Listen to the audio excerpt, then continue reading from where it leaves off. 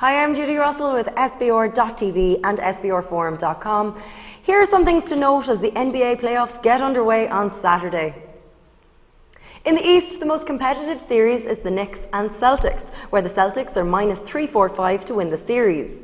Both teams had some injury issues to key players down the stretch, but both also rested and got healthy in the last week of the season. The Knicks were overall a much better bet than the Celtics on the year, the Knicks being 46 34 ATS, while the Celtics were under 500 at 38 42. The Knicks were also particularly good against the spread on the road at 26 14. Boston also ended the year on a huge underrun, going 4 15 and 1 over under in their last 20 games.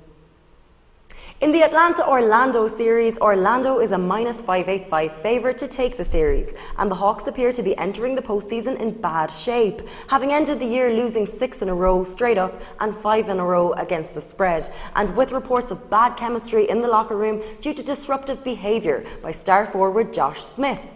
However, Smith has called the playoffs a new season and may be coming in with a new attitude. Coach Larry Drew rested his starting squad down the stretch, and the Hawks did win three out of four games against Orlando this year, as well as covering the spread in their one loss. The Magic were also not a good bet in general on the year at 35-46 ATS overall, so there are some signs that Atlanta may be more competitive than expected in their opening playoff series. Rounding out the East, the Bulls are a huge favourite over Indiana, and they were a great bet on the year at 49.31 ATS.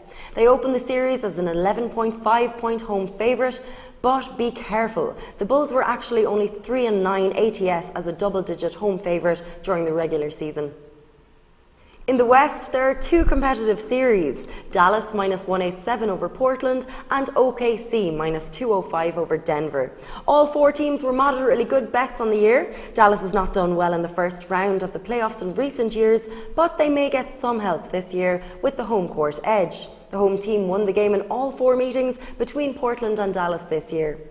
And Denver may have an extra hurdle against OKC on the injury front. They were hit with numerous injuries to key players at the end of the year. And while all the players are expected to suit up for game one, they may not all be at 100%.